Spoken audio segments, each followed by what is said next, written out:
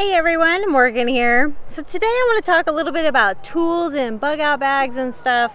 Um, a lot of people have told me that um, like my big knife, I've done some pictures and videos with my big knife, like I carved a spear with this knife and stuff like that, and people are like, you need a smaller knife. Well, I have plenty of smaller, you know, Baco and Moras and small uh, fixed blade knives that work great too.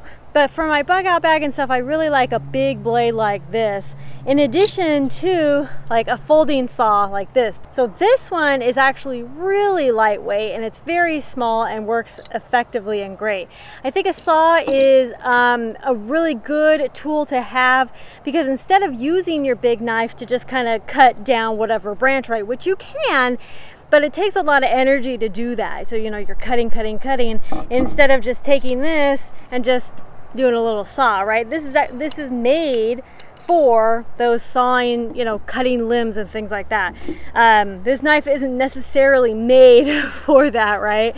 Uh, but if I had to, I would. And I use this for splitting wood and, you know, for every task. Any task I can ever think of, I can use this blade. And um, I, you know, I just think it's the most versatile blade instead of just having this small blade, which you know, you can tell they're all very used. You know, I use them all for very different things, like for the home, around the home and stuff, I, I'll use these smaller blades. But when I'm out and about and in the woods and things like that, I use these bigger blades. And this one in particular is the Tops Fire Strike, which I've done a review of. And I love this blade. I love everything about it. Um, and then, of course, we have blades on us, you know, on our person. We have folding blades. And um, uh, I do have some fixed blades. Um, you know, like if I know I'm going out into the woods, I'll put one on my belt kind of thing. It usually won't be this one that I carry around. It'd be something a little smaller.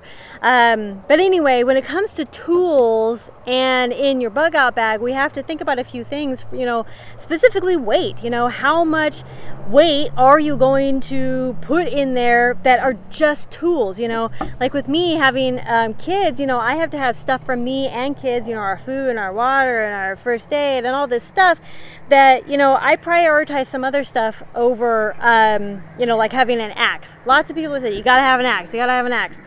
I have never in my life said, "Wow, I wish I had an axe." um, you know, uh, I, I, can use rocks to you know put stakes into the ground. I can even use the end of this to you know hit those stakes or you know do whatever I have to. Um, this is a good clubbing knife too. Right okay, so anyway. Um, this is just a really good, versatile, multi-use uh, knife. A big blade, heavy duty. It's not gonna break on me no matter what I do, right? That's what you wanna find, a good, reliable uh, fixed blade knife for your bug out bag, whatever it is, whatever size it is. But I like the bigger knives because of the versatility and their multi-use purposes. Um, and then some people like the smaller knife.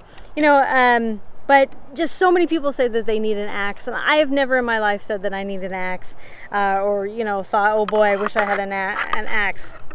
You know, what I can do with an axe, I can do with this, or a uh, folding saw.